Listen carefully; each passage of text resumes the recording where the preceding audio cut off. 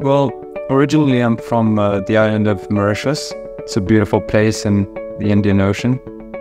And I was mainly motivated by a big change uh, since in Mauritius we have only 1.3 million inhabitants and I wanted to discover the world. So that's what motivated me to go into this journey in Europe.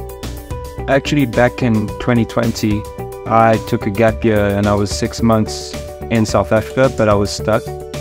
So it was a bit of a complication for visa and getting the visa on time. So what I had the chance is to see that GBSB was offering a online course and you could do your first year online and then carry on on campus. And that's what I decided to do. I thought it was the perfect opportunity for me to not waste another six months or full year and just get right right away into my studies.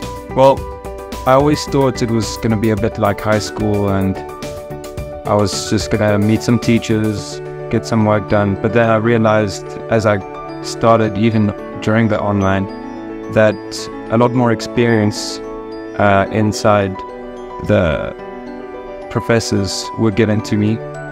And I got given the chance to get all those insights from people I never thought I would meet. And for me, that was a, a big wow factor, just seeing how many people and how many diverse cultures there are, uh, even within the professors.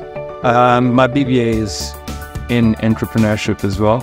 And so it's kind of ironic to learn entrepreneurship, but what that has given me the chance is to know what I like and it was really through those professors and all those courses that I've had to really realize that that's the way I want to go.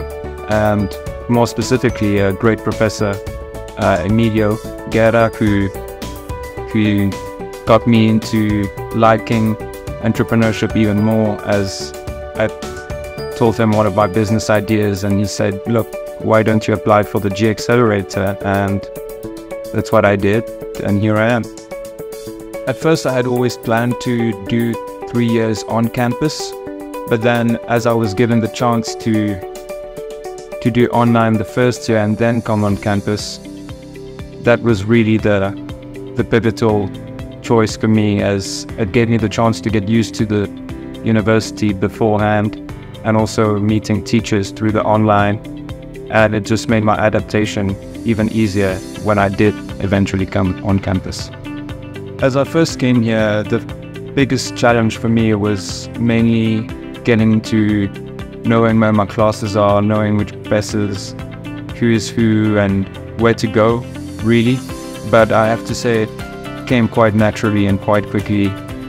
And eventually, I'm fully integrated now into the campus. If you want to know about Sacha's path in the G Accelerator, watch the next part of the video.